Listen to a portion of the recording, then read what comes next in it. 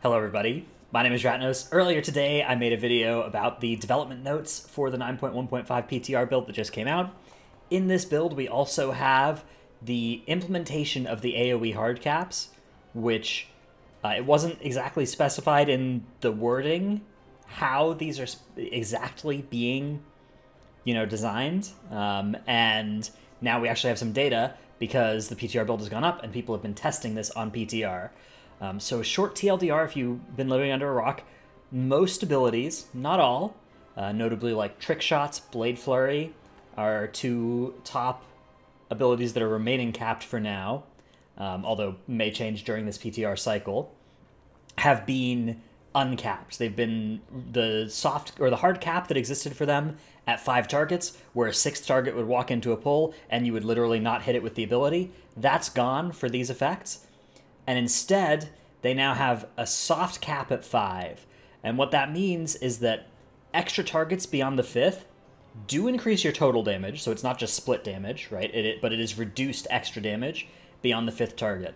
Uh, and we actually have the numbers on that now as well. So this is a graph from uh, Guilty as Feral, Wowhead Feral Druid guide writer, actually one of the one of the better guides uh, on Wowhead for a spec if you ever are in the mood for playing Feral, which I have been a bit in the past months.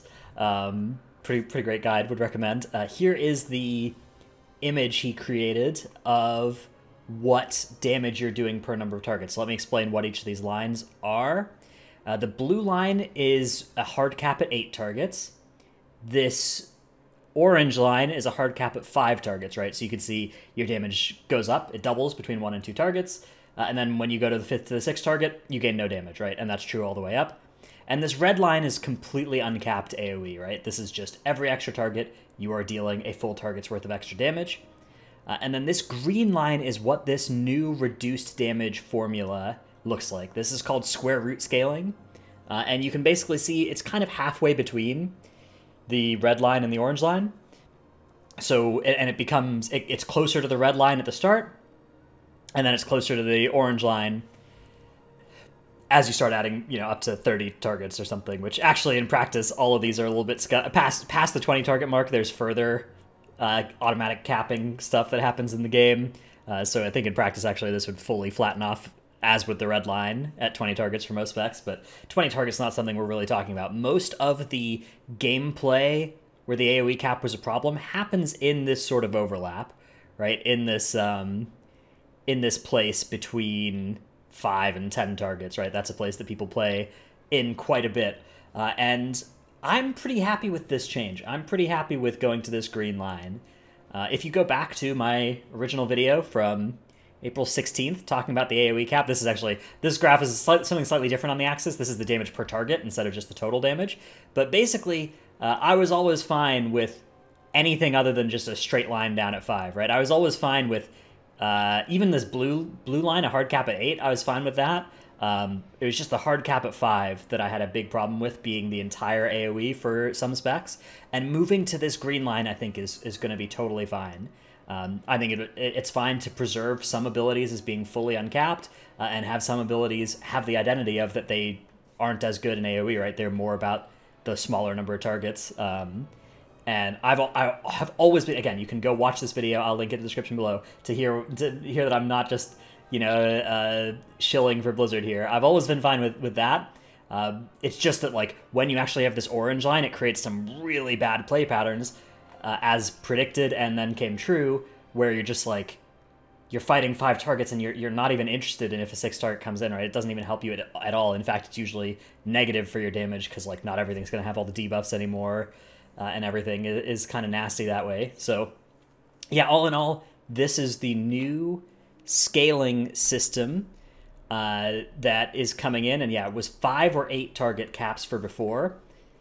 There are some abilities that were capped at eight.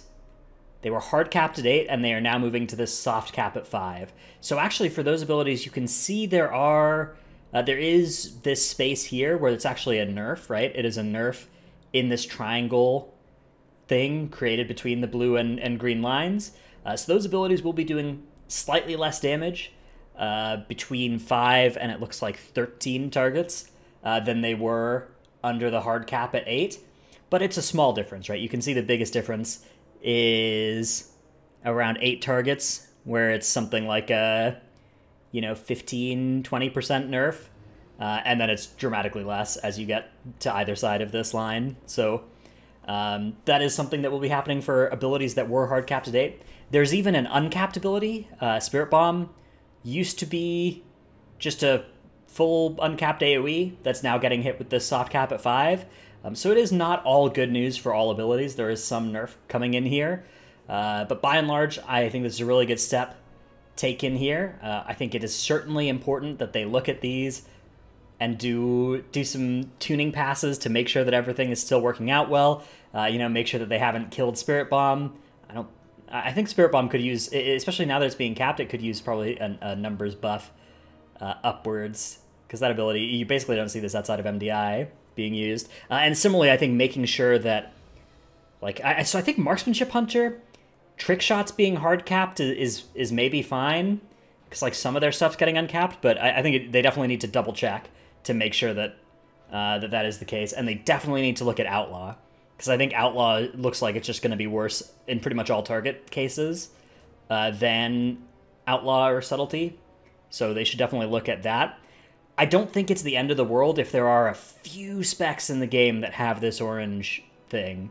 Uh, but I actually do think it would be better if basically no spec was fully operating under this paradigm. Uh, we had two of them back in BFA, right? We had Fury Warrior and Marksmanship Hunter uh, were hard capped at five with most of their damage back then. Uh, and I thought that was a bad thing back then. But I do think, you know, if, if say zero to five classes or specs are in that space, uh, they can it can still be okay. I just think it, in general it.